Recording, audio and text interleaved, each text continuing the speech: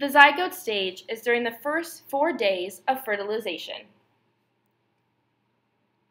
This stage begins with two components, the sperm and the egg. Each of these cells has 23 chromosomes. Once these two cells combine, this is called fertilization and where the zygote stage begins. Once a female begins ovulation, which occurs when an egg moves from the ovaries into the fallopian tubes and is ready for fertilization, the egg travels into the fallopian tube.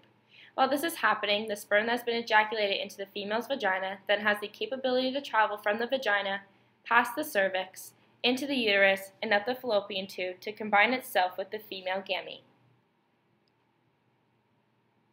After one sperm enters the egg, a chemical occurs so that no other sperm can enter the egg.